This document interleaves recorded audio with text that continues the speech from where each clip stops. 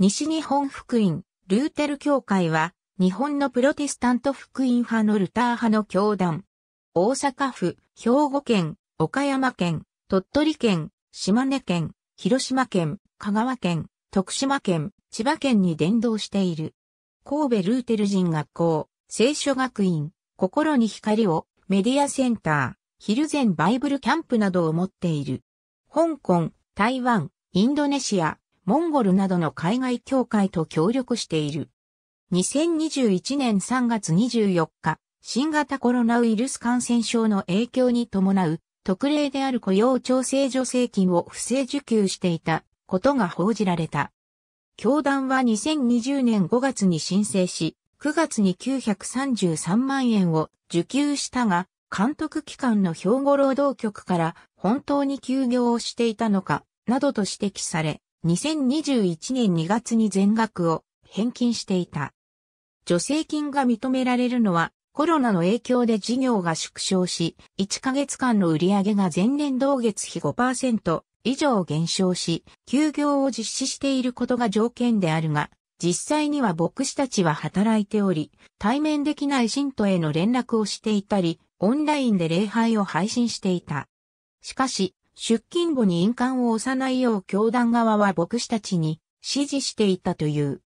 当時の教団事務局長らが各教会の牧師らに賛否を問い、賛成多数となったため申請が行われたが、不正なのではないかと疑問視する牧師もあった。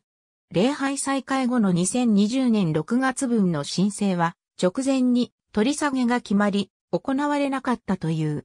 同月25日、教団は雇用調整助成金の返納の件についてという文書を公表、経緯説明を行った。それによると、2020年4月7日に緊急事態宣言が発出されたため、感染防止のため同年4月19日から5月31日まで、教会を閉鎖し、礼拝を休止したことを実質的な休業とみなしたという。休業期間における牧師たちの活動は、進んで無償奉仕を行ったものであり、業務には当たらないと認識していたが、信仰的な観点では奉仕であっても、法的にはすべて業務に当たると判明し、兵庫労働局と話し合いの上で解決したとしている。